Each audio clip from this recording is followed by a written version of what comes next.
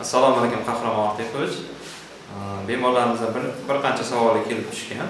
Mumkin bo'lsa prostatit haqida qisqacha ma'lumot berib o'tsangiz. Assalomu alaykum hurmatli tomoshabinlar. Man g'iyosov qahramon ortiqovich vrach urolog androlog. Sabadarmon klinikasida vrach urolog androlog bo'lib ishlamoqdaman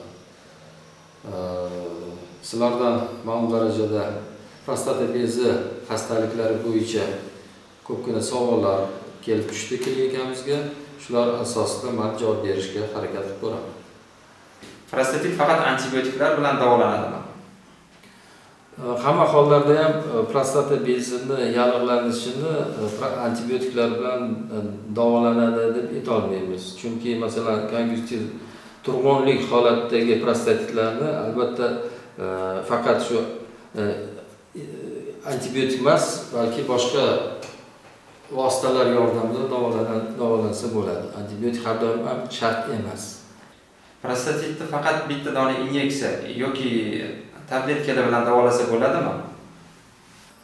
Oldinlar shu tabletkalar inyeksiyalar bilan davolash mumkin edi lekin hozirgi kunda shu prostata bezi yallig'lanishini bir necha davo muolajalarini kombinatsiyasida qo'llash maqsadga muvofiq bo'ladi.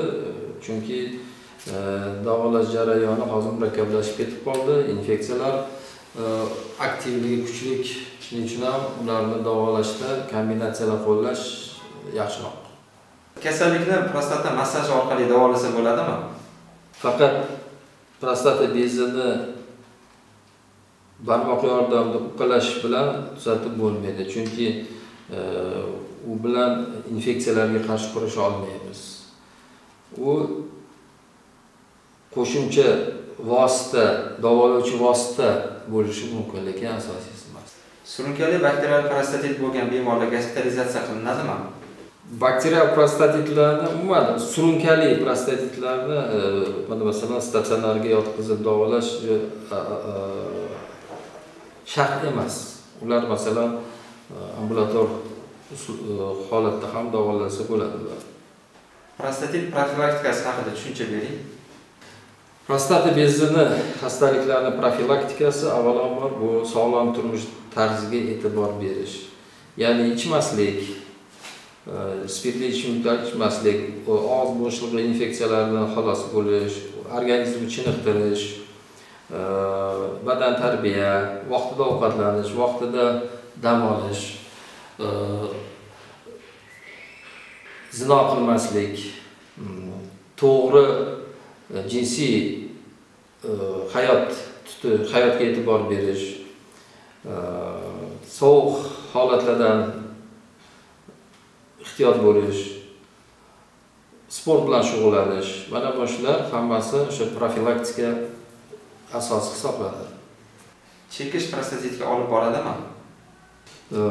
To'g'ridan to'g'ri chekish prostatitga olib kelmaydi balki uni unga способствие ya'ni unga ta'sir ko'rsatishi mumkin qachonki u o'sha prostata bezini qon aylanishiga ma'lum darajada ta'sir ko'rsatishi mumkin lekin to'g'ridan to'g'ri prostatitga olib kelmaydi alkogol iste'mol qilishning prostatitga ahamiyati bormi prostata bezini yallig'lanishi davom etayotgan davrda spirtli ichimliklar iste'mol qilish prostata bezini yallig'lanishini kuchaytirishi mumkin uni davolash jarayonini uzaytirib yuborishi mumkin ichkilik ichish qat'iyan man qilinadi prostatit bu butun hayot davomida kechadigan kasallikmi?